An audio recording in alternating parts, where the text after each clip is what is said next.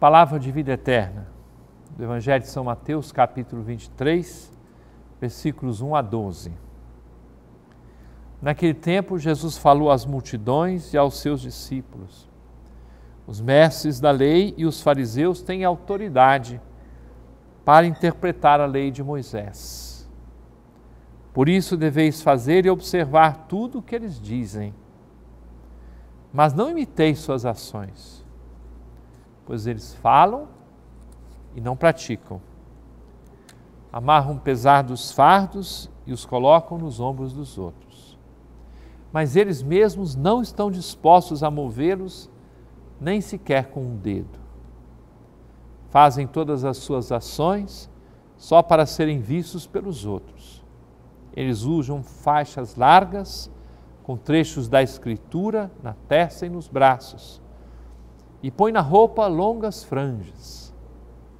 Gostam de lugares de honra nos banquetes e dos primeiros lugares nas sinagogas.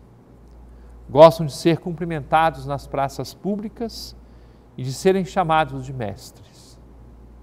Quanto a vós, nunca vos deixeis chamar de mestre, pois um só é vosso mestre, e todos vós sois irmãos.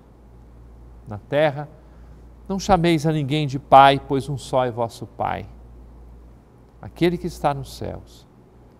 Não deixeis que vos chamem de guias, pois um só é o vosso guia, Cristo. Pelo contrário, o maior dentre vós deve ser aquele que vos serve. Quem se exaltar será humilhado, e quem se humilhar será exaltado.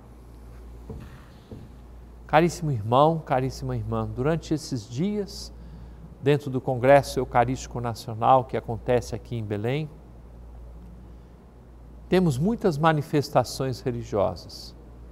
As celebrações das Santas Missas, as procissões, a oração, a piedade do povo, a presença dos bispos, sacerdotes, diáconos, o Brasil inteiro aqui representado.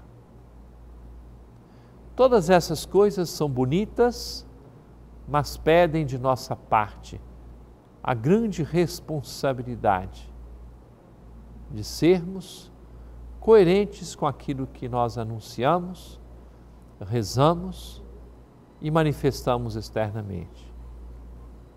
Espírito de serviço, humildade, prontidão, não fazer competição por lugares, por cargos, se todos nós estivermos dispostos a servir, se formos os primeiros a tomar a iniciativa da busca do perdão, do cumprimento, da saudação, a iniciativa do diálogo com as pessoas, tudo isso é coerente com o Evangelho. Mas pede de cada um de nós a disposição de nos deixar conduzir pelo próprio Senhor e pela ação do seu Espírito.